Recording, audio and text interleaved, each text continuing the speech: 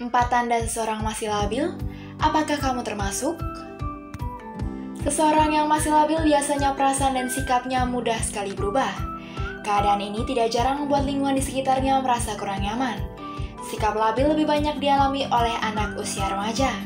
Namun, tidak sedikit orang dewasa juga masih mengalaminya. Terkait hal ini, biasanya dipengaruhi oleh beragam faktor, salah satunya karena banyak tekanan dalam diri. Lalu apa saja tanda seseorang masih labil? Inilah empat tanda yang perlu kamu ketahui. Yang pertama, mudah tersinggung. Tanda labil pertama yaitu mudah tersinggung. Wajar jika kamu tersinggung terhadap perilaku orang lain yang membuat kamu kurang nyaman.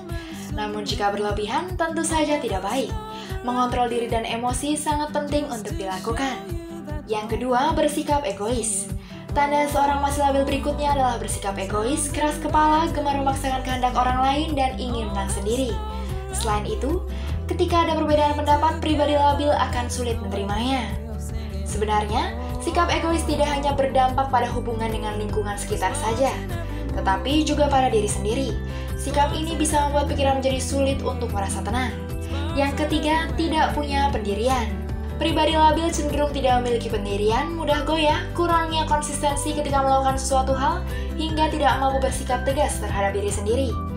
Tidak memiliki pendirian menandakan kamu belum bisa mengambil sebuah keputusan dengan tegas. Hal ini tentu akan sangat menghambat langkahmu ke depannya. Apalagi dalam hidup pasti dihadapkan dalam banyak pilihan. Keempat, mudah terhasut.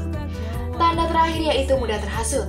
Pribadi labil akan mudah sekali terhasut oleh bisikan orang lain. Sebaliknya, ketika mendapatkan sebuah berita atau gosip, jangan langsung mudah percaya dan menerimanya secara mentah. Kamu perlu mengambil kebenaran terlebih dahulu agar tepat dalam bersikap. Kenapa? Karena bisa jadi apa yang orang lain sampaikan itu hanya berita burung saja dan fakta menyatakan sebaliknya. Dari sekian tanda seseorang masih labil, apakah kamu termasuk? Jika iya, yuk kurang-kurangi. Setiap orang pasti pernah mengalami kondisi labil.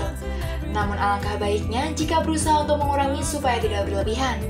Apalagi ketika usia sudah beranjak dewasa harusnya lebih bisa mengontrol emosi. Akan sangat berbahaya jika tidak bisa mengontrolnya, sebab bisa berdampak tidak hanya untuk diri sendiri, tapi juga orang lain.